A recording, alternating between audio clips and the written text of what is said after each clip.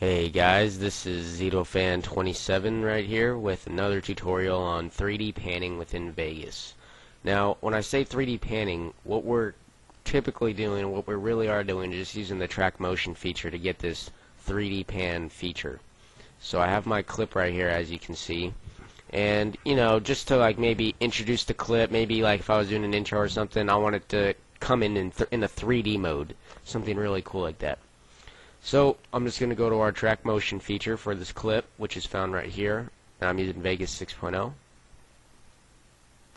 And you're going to be prompted with something like this. Now, not many people actually realize you can actually go in 3D with all this just by going right here in the drop-down menu and then go into 3D Source Alpha. And as you can see here, you can rotate the different axes, X, Y, and Z axes, and you can get a 3D motion. See, as you can see the screen over here, how the object can be moved in a 3D format. And if I just wanted to rotate it that way, so say for instance I wanted it to come in like that, and then, you know, at this point in time, I wanted it to, see you can see the motion of it as it rotates, and say here, right about here, I want it to come back, I could just always go back to default at that time period. And so you can get this really cool effect. Play this.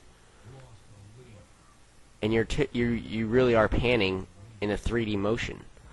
So as far as that goes, that's how 3D panning will work in Vegas. Um, other things you can take notice of is how deep you want it as far as the depth goes of your 3D motion. Uh, so watch if we increase the depth. It's actually, see how far, it's actually farther back in our 3D space that we have right here. So if you wanted it to come, you know, we'll start from the beginning. You wanted it at that 12, and then say here you wanted it, see you can almost zoom in with a 3D motion with that. And other things to take into notice are, you know, you can actually change it manually with the numbers for the offsets, what kind of movement you want as far as your keyframes, and that's pretty much it. So if for those who don't have Adobe After Effects or someone who's just looking for something really easy to track 3D motion in, I recommend